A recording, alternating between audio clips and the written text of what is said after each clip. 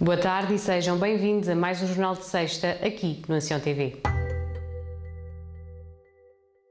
O presidente do município de Ancião, Rui Rocha, esteve recentemente na Ilha do Fogo, em Cabo Verde, para a assinatura de um protocolo de cooperação com o município de Mosteiros, uma cidade com cerca de 10 mil habitantes, que visa o estabelecimento de uma geminação entre as duas localidades.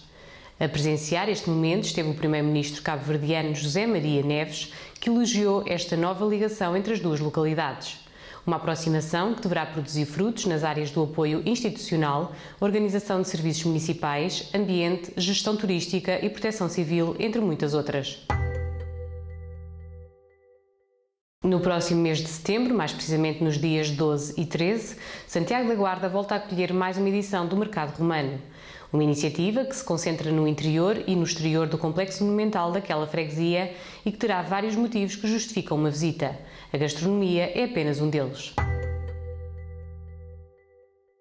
Inaugurada durante as festas do Conselho de Ancião e mostra de atividades económicas, continua patente no Centro Cultural a exposição Diversidades.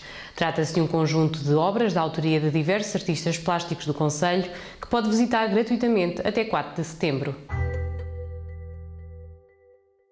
Falando ainda em exposições, mas agora de fotografia, também vai muito a tempo de ver as 33 imagens que passaram à fase final do concurso Olhar Ancião 2015.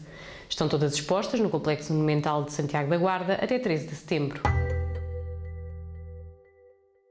Agora falamos-lhe de cinema para dar conta de que amanhã à noite o Centro Cultural de Ancião exibe o filme de ação Parker e na próxima semana estará em cartaz a maléfica Angelina Jolie. Mesmo a terminar mais uma edição do Jornal de Sexta, fico com as temperaturas previstas para Ancião este sábado e domingo. Quanto a nós, regressamos já na próxima semana. Fique bem!